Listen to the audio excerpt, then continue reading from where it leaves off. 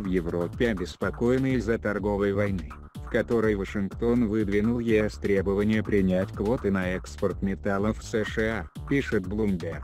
Администрация Дональда Трампа настаивает на том, чтобы Канада и Европа согласились на квоты в обмен на временное освобождение от тарифов на сталь и алюминий, которые будут введены с 1 мая. Мы просим всех согласиться если не на тарифы, то на квоты, заявил министр торговли США Уилбур Росс. Таким образом, Евросоюз оказывается перед выбором, либо уступить США, либо столкнуться с новыми штрафными тарифами, отмечает Bloomberg. Торговая война – это поражение для всех. При обдумывании ответных действий нужно сохранять хладнокровие, но основной принцип заключается в том, что в торговой войне победителей не будет, поэтому мы постараемся избежать ее любой ценой.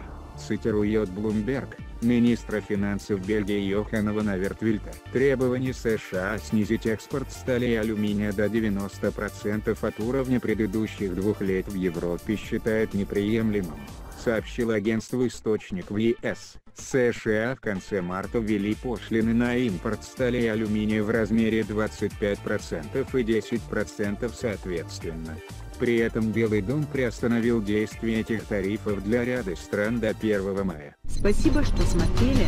Подпишитесь на канал, оставляйте комментарии, друзья.